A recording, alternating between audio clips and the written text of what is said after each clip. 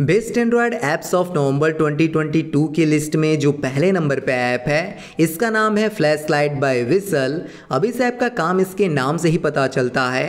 अब अगर आपको भी कभी इमरजेंसी में फ्लैश लाइट ऑन करनी होती है और आपका फ़ोन उस टाइम आपके पास नहीं होता या आपने कहीं रखा होता है तो उस केस में आप सिंपली एक विसल बजा के ही अपने फ़ोन की फ्लैश लाइट ऑन कर सकते हो, जो कि देखा जाए तो एक काफ़ी यूजफुल फीचर है।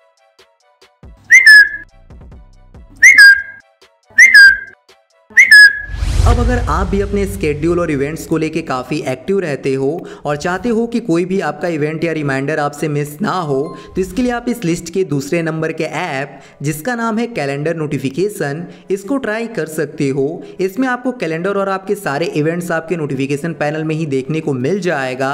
अच्छा कभी कभी आपके साथ भी ऐसा होता होगा कि आपको कोई मीडिया फ़ाइल की रिक्वायरमेंट पड़ती है और वो फ़ाइल आपके फ़ोन में होने के बावजूद भी आपको नहीं मिलती तो इसके लिए आप इस तीसरे नंबर के ऐप, जिसका नाम है रूपू, इसको ट्राई कर सकते हो। ये एक ऐसा ऐप है जिसके थ्रू आप अपने कोई भी media file, text file PDF location, link और भी काफ़ी सारी चीज़ें नोटिफिकेशन पैनल में ही पिन कर सकते हो और उनको जब चाहे अपनी ज़रूरत के हिसाब से एक क्लिक में एक्सेस कर सकते हो। अब किसी भी फ़ाइल को पिन करने के लिए आपको उस फ़ाइल पे टैप किए रहना है, फिर आपको शेयर वाले बटन पे टैप करना है और यहाँ से रूपू पे टैप कर देना है। अब जैसे आप रूपू सेलेक्ट करोगे तो यहाँ पे कुछ ओके करने के लिए आएगा। आप चाहें तो यहाँ से लेबल भी ऐड कर सकते हो और जैसे आप ओके पे टैप करोगे तो आप देख सकते हो कि आपका वो फ़ाइल नोटिफिकेशन पैनल में पिन हो गया।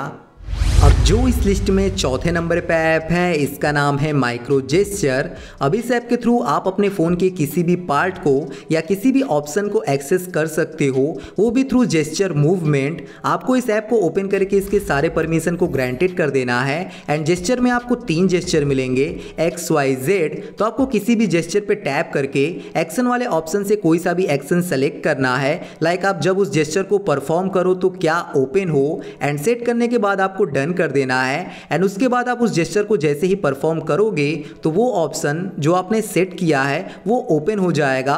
बाकी आप डायरेक्शन सेंसिटिविटी ये सारी चीज़ें आप अपने हिसाब से सेट कर सकते हो। इसके अलावा प्लस पे टैप करके आप वॉल्यूम बटन के थ्रू ओपन होने वाले एक्शन को भी सेट कर सकते हो। पाँचवें नंबर के ऐप पे जाने से पहले अगर आपको ये विदाउट इंट्रो वाली वीडियो पसंद आ रही है तो इस वीडियो को लाइक ज़रूर कीजिएगा।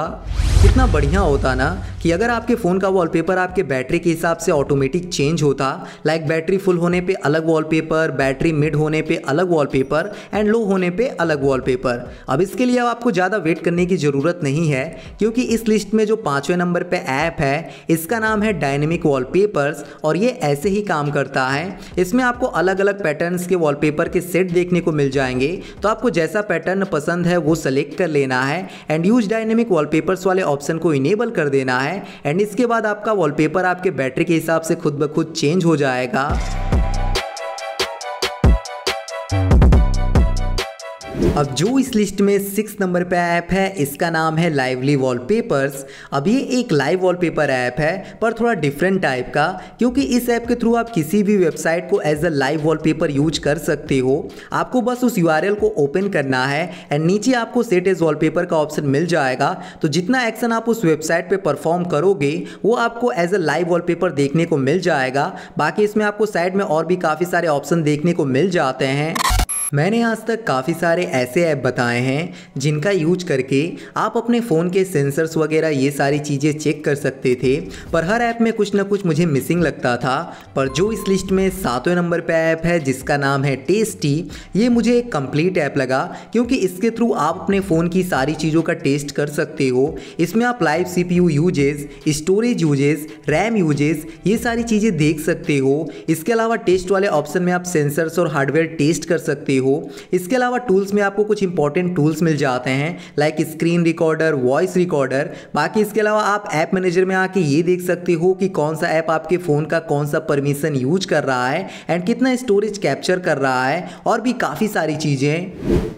अब जो इस लिस्ट में आठवें नंबर पे ऐप है, इसका नाम है नोट टू सेल्फ जो कि एक बहुत ही clean and minimal offline private note taking app है, जो कि चैट टाइप के इंटरफेस के साथ आता है। ऐसा लगेगा कि आप किसी के साथ चैट कर रहे हो, इसमें आप कुछ भी नोट कर सकते हो। इसके अलावा इसमें आप लोकेशन वीडियो ऑडियो जैसे आप किसी को सेंड करते हो, वैसे ही खुद के लिए ऐड कर सकते हो। बाकी आप अपने प्राइवेट नोट्स को पासवर्ड या बायोमेट्रिक लॉक के थ्रू प्रोटेक्ट कर सकते हो, और आप अपने नोट्स का ऑफलाइन बैकअप भी ले सकते हो। अगर आप अपने काफ़ी सारे ऐप्स के शॉर्टकट्स को एक जगह ऑर्गेनाइज रखना चाहते हो, ताकि आप उन्हें इंस्टेंट एक्सेस कर पाओ तो इसके लिए आप इस नौवे नंबर के ऐप जिसका नाम है पेन शॉर्टकट इसको ट्राई कर सकते हो। इस ऐप को आपको अपने होम स्क्रीन पे ऐड कर लेना है एंड इसको ओपन करके आप कोई भी ऐप एंड शॉर्टकट इस ऐप में पिन कर सकते हो।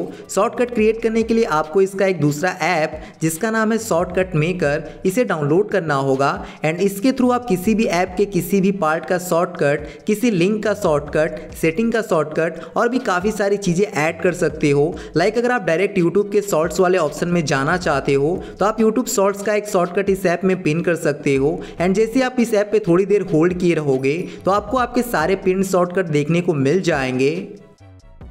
ऑल राइट अब जो इस लिस्ट में फाइनल यानी दसवें नंबर पे ऐप है, इसका नाम है फ्लेक्स स्क्रॉल जिसके थ्रू आप किसी भी सोशल मीडिया ऐप को यूज़ करते हुए अपने मन मुताबिक ऑटो स्क्रॉल इनेबल कर सकते हो। इसमें आपको एक फ्लोटिंग विज़िट मिल जाएगा, जिसके थ्रू आप बस एक बटन पे टैप करके ऑटो स्क्रॉल इनेबल कर सकते हो। आप अपने हिसाब से स्क्रॉलिंग स्पीड सेट कर सकते हो। इसके अलावा आप page up down right left इन सब चीज़ों को भी एक बटन के थ्रू इनेबल कर सकते हो। ओवरऑल ये ऐप उस केस में ज़्यादा यूजफुल होने वाला है, जब आप स्क्रॉलिंग करते करते थक गए हों या आप किसी काम को करते हुए अपने फ़ोन को यूज़ करना चाहते हैं